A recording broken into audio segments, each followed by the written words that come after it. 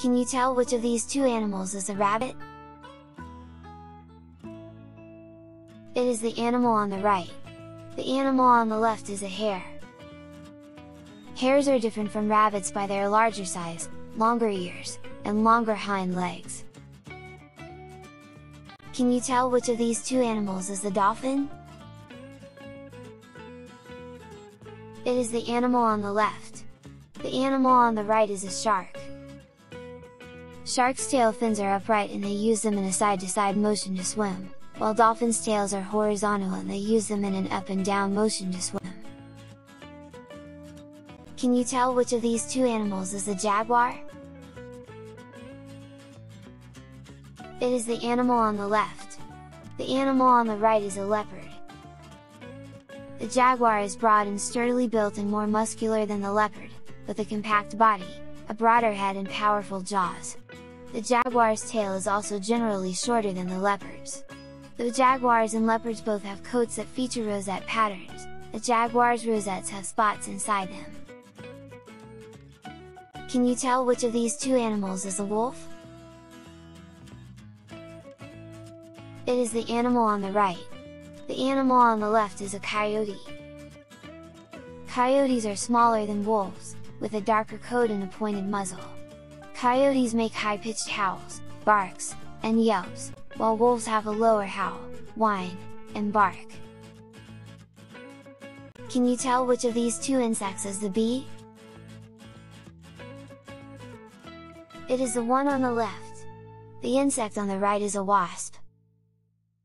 Bees and wasps differ greatly in appearance. In general, bees are more full-bodied, hairy and appear to be fuzzy.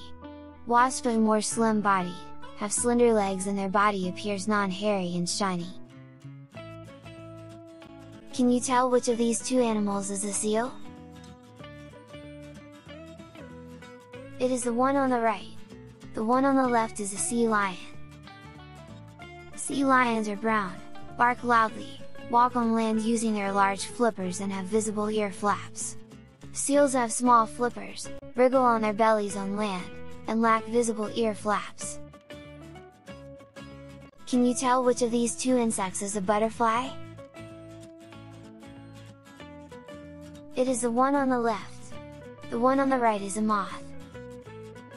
Butterflies are typically larger and have more colorful patterns on their wings. Moths are typically smaller with drab-colored wings.